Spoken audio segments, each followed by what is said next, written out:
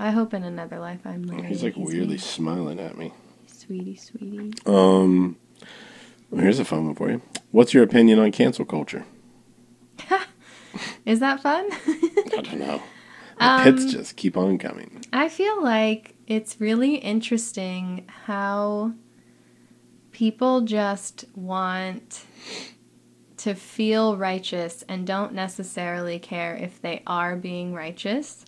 Or correct. And I feel like um, it's interesting how we know that social media, for example, like on Instagram, for the most part, I'm sharing like highlights or pretty parts of my day. Sure. And then, like, I'm not showing you what I look like when I first wake up in the morning. And I'm not showing you when I'm, like, so stressed out to the point of, like, tears over all the, like, reading and homework that I have to get done by 3 p.m. the next day. Mm-hmm. And I, and it's not that I put it off, I just genuinely, like, can't keep up. Like, there are these moments in, like, our days and in our weeks and in our lives that just aren't Instagram story worthy. So what you see is this highlight reel and that's not a new thing or a concept I've made up by any means. But it's like we forget that and just assume that based on someone's highlight reel especially like because now, you know, I've been on Instagram for like years and years since like high school or whatever.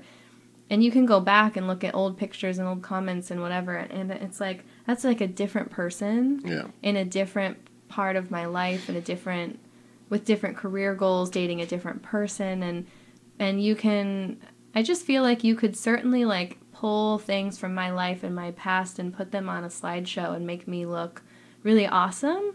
Or you could do that and make me look like a horrifying person. And it's really all about like not context but really like a lack of context and a lack of knowing a whole person. Hmm. because you just know a part of a person person that that person decided to share. Yeah.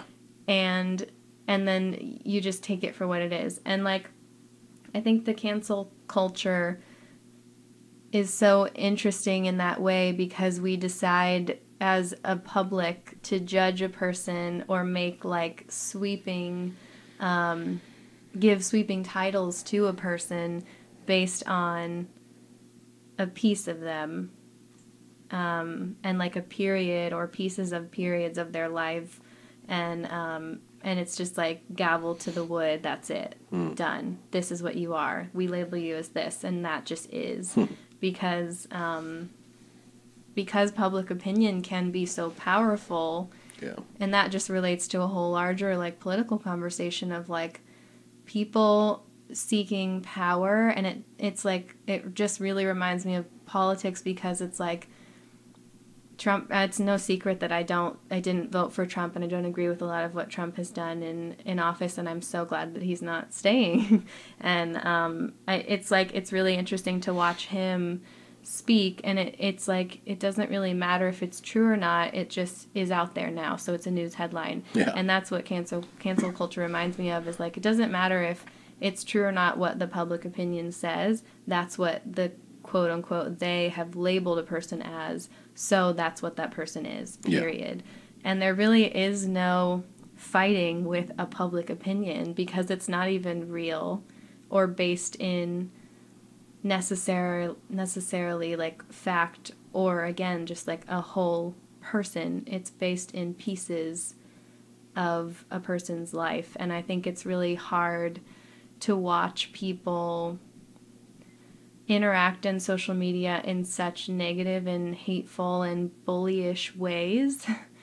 And it they think it's all in the name of justice. And it's like well it's really interesting to see people fighting harassment with harassment or fighting hate with hate. And i guess someone could argue that you have to but i just don't i don't agree with the way people have taken to the internet to be these kind of um, cyber bullies and just think that they're like the judges of all people that they don't even know Well, yeah. Well, because a lot of them they don't look at it like they're not bullying because they're doing it for justice, and that's I mean that's the case throughout any of like any of the comedians and stuff that have got i think attacked they or think they are though like they think they are no, that's what I'm saying. Like they're not, but they don't look at what they're doing. Like they can go and tell somebody to go kill themselves, and to them that it's like that's not bad Yeah. because like like kind of that, that that bit of like they think you're killing babies in there. Like that's a real thing. Like they're so C.K. joke, by the way. yeah, they're just so tur- yeah, perfect. They're just so turned up by it that like there's no explaining that you know, hey, there's a different side to the story, or there's a, like maybe you misunderstood that, or maybe the whole thing is getting twisted, or hey, maybe you're just flat out like going off of bullshit. Like this or maybe isn't you're real right. at all. Maybe maybe something someone said was idiotic, but it doesn't make Yeah. them a monster or a bad person. but they um, think it does. So like when they go really hard at it, like they're not. Yeah, I mean, I'm just addressing the bully as being No, totally. thing. I just I think um, what has really really disheartened me and a big um, definitely a big pull in that sort of like angry anxious direction for me personally is seeing people use the internet to tell people to kill themselves Yeah. because I I I will never and no one will ever make me understand how a person on the internet tells another person who they don't know or who they do know, I don't give a shit, tells anyone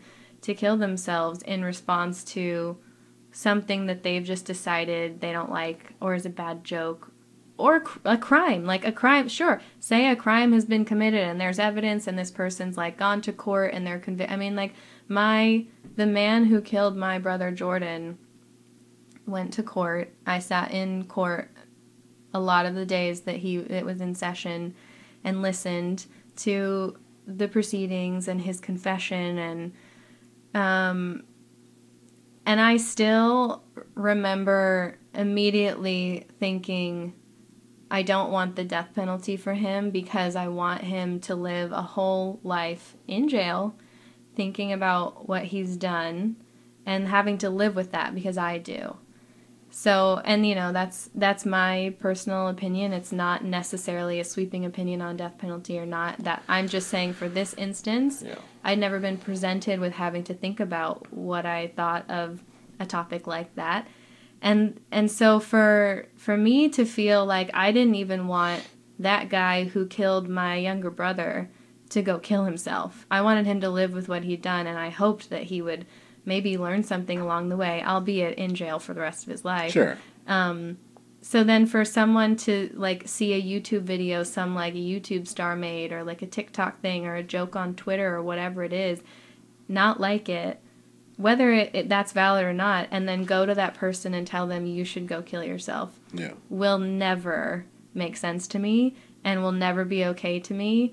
And if you've ever been some just if you've ever been someone who wrote to or said to anyone you should go kill yourself, you should go find a therapist and seek help immediately because I hope to everything good in the world that you can get help and right your wrongs and figure your shit out before someone takes your advice. And that's it. Like Yeah. That's it. Yeah, you don't have to continue on that. Um, a perfect segue out of that is what are some tips to find the perfect therapist? What questions do you you just hateful that you social, know? yeah. you- social media was just my place to what am I doing? But, but I feel like people want to listen. It's just there. There's a smaller group of people that are just so overly negative and overly just hateful that you social, know. yeah. you- social media was just my place to outreach a lot of the projects and work and stuff. And now it just social media has turned into such a weird. yeah, hateful like it's just a place that i get on every day and get mad because of like the news i see and the, the stupid things people like post and share yeah. and it's just not like a fun place to be right now but i'm trying to like sit in that because i do think it's like a reckoning in a way I mean, it's not a fun place to be, but it's also, I mean, I'm completely off of it now, but like just depending on what you're looking at, I mean, it's so easy to just spiral down and look at all the negative stuff and like feed into that. But which i don't like no, I- you I do a good job of avoiding that. I don't spiral, but even even in not spiraling, so I can't imagine someone who is what they're seeing or Yeah. feeling. But like, yeah, just it, it- literally just watching the real live news of like what's going on Yeah, it's terrible. in politics right now is infuriating. So then add on anything else, Hmm. and it's just hard to imagine right now like writing a book for fun and just like having a really like cute, fun, light marketing campaign and blasting my social media. Like it felt weird even when I was doing it because Yeah. of the time. But it was like what I did this thing. I'm not gonna not put it out. I made it a fundraiser, so it felt more worthwhile for the times Sure.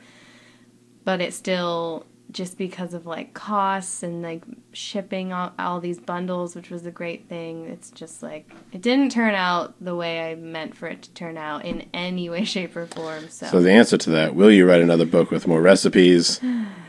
Two hours later, yes. Hope to.